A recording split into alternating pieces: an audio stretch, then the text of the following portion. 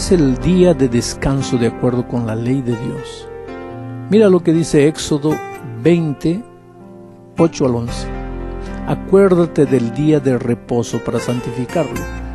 Seis días trabajarás y harás toda tu obra, mas el séptimo día es reposo para Jehová tu Dios. No hagas en él obra alguna, ni tú, ni tu hijo, ni tu hija, ni tu siervo, ni tu criada, ni tu bestia, ni tu extranjero que está dentro de tus puertas, porque en seis días hizo Jehová los cielos y la tierra, el mar y todas las cosas que en ellos hay, y reposó en el séptimo día. Por tanto Jehová bendijo al día de reposo y lo santificó. ¿Cuál es el séptimo día de la semana? Es fácil, mira el calendario. ¿Cuál es el séptimo día de la semana? El primero es el domingo, el último, el séptimo, es el sábado. Anda al diccionario y busca la palabra sábado. ¿Qué es lo que dice? Séptimo día de la semana. Entonces, de acuerdo con el texto bíblico que acabamos de leer, el sábado es el día de reposo instituido por, día desde por Dios desde la creación. Ahora, ¿quién debía beneficiar el sábado? Marcos 2, 27 dice, también les dijo, el día del reposo fue hecho por causa del hombre y no el hombre por causa del día de reposo. Hay muchos cristianos hoy día que dicen que el sábado fue hecho para los judíos. Pero este texto que acabo de leer dice que el sábado fue hecho por causa del hombre, no del judío, del ser humano, del hombre. No importa si es japonés, griego, judío, árabe, lo que sea. El sábado es un día santo para el ser humano. ¿Por quién y cuándo fue creado el sábado? Génesis 2, 1 al 3 dice. Fueron pues acabados los cielos y la tierra y todo el ejército de ellos, y acabó Dios en el día séptimo la obra que hizo, y reposó el día séptimo de toda la obra que hizo. Bendijo Dios al día séptimo y lo santificó porque en él reposó de toda la obra que había hecho en la creación. O sea, en el Edén, al terminar la semana de la creación, Dios hizo tres cosas con el día sábado. Primero, descansó. Ahora, si Dios descansó no era porque estaba cansado, porque Dios no se cansa ni se fatiga. Él solamente quiso darnos un ejemplo. En segundo lugar, Él bendijo al sábado. Cuando algo es bendito pasa a ser una cosa bendita.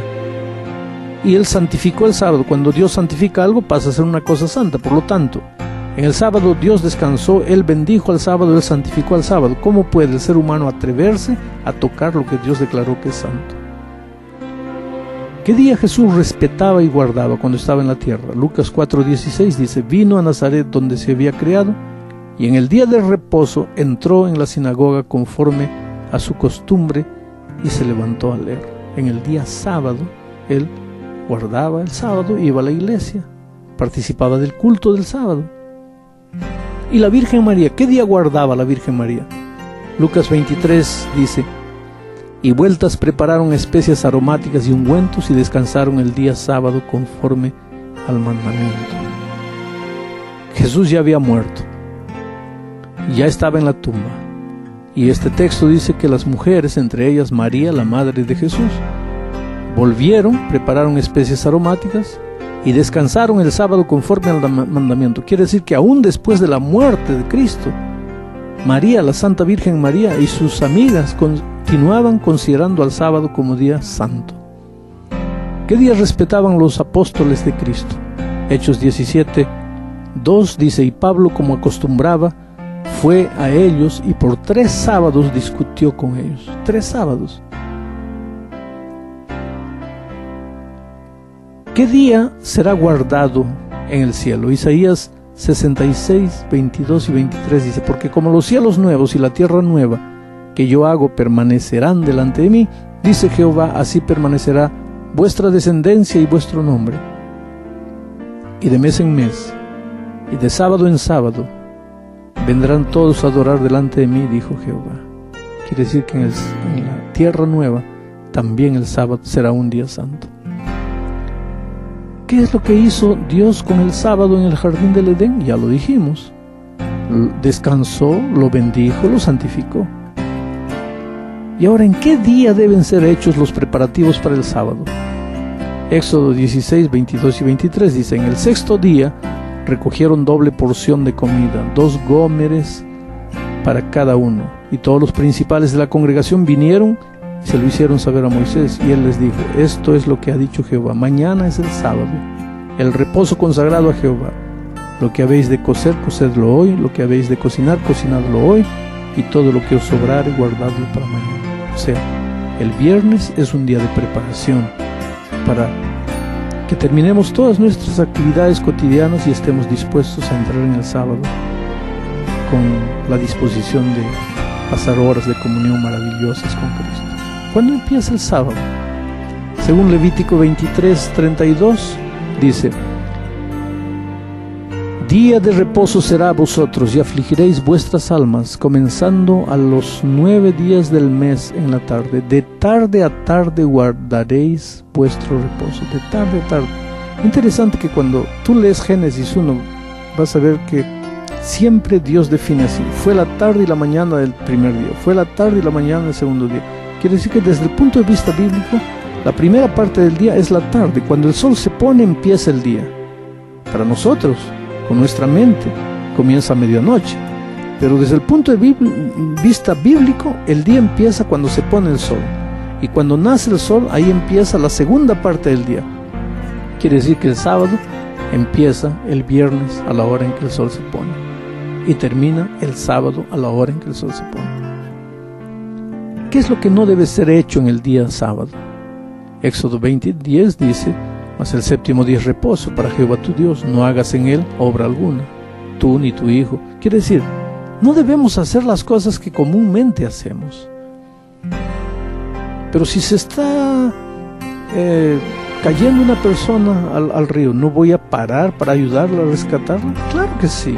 Si hay un accidente de tránsito, ¿no me voy a remangar las manos y voy a salvar esa vida? Claro que sí. Pero las actividades cotidianas que yo puedo dejar para el resto de la semana, tengo que olvidarme de ellas, porque el sábado es un día especial para pensar en Dios y para vivir para Dios. Mucha gente dice, sí, pero yo vivo para Dios todas las semanas. ¿Cómo toda la semana? Toda la semana tú tienes que trabajar, tienes que correr, tienes que eh, luchar atrás de tus sueños. No, no, no, no me digas que pasas con Dios toda la semana. Ahora, el sábado es un día integralmente dedicado a Dios. Es diferente. Claro que todos los días tú puedes también dedicarle tiempo a Dios, pero tienes que luchar por, tu, por tu vida. Y ya en el día sábado, todo el día se lo debes devolver a Dios. ¿Y qué es lo que se puede hacer en el día sábado? Mateo 12, 12 dice, pues, cuanto más vale un hombre que una oveja, por consiguiente es lícito hacer el bien en los días sábados. Es lícito que hagas el bien en los días sábados. Y ahora, ahora que ya sabes cuál es el día de reposo verdadero. Dios espera que tú tengas cuidado para no deshonrar el sábado. Isaías 56, 2 dice, Bienaventurado el hombre que hace esto y el Hijo del hombre que lo abraza, que guarda el día sábado para no profanarlo y que guarda su mano de hacer todo mal. Dios también espera que tú santifiques el sábado. Isaías 58, 13 y 14 dice, si retrajeres del sábado tu pie y hacer tu voluntad en mi día santo, y lo llamares delicia, santo, glorioso de Jehová, y lo venerares, no andando en tus propios caminos, ni buscando tu voluntad, ni hablando tus propias palabras, entonces te deleitarás en Jehová. Y hay una promesa, yo te haré subir sobre las alturas de la tierra, y te daré a comer la heredad con tu Padre, porque la boca de Jehová lo ha hablado. Que Dios te bendiga.